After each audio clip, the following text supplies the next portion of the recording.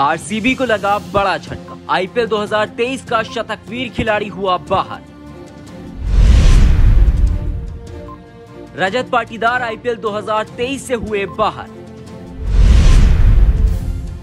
Heal injury के चलते IPL 2023 से बाहर हुए रजत पाटीदार। आईपीएल 2022 में आठ मैचों में पचपन दशमलव पाँच शून्य के शानदार एवरेज से रजत पाटीदार ने जड़े थे 333 रन।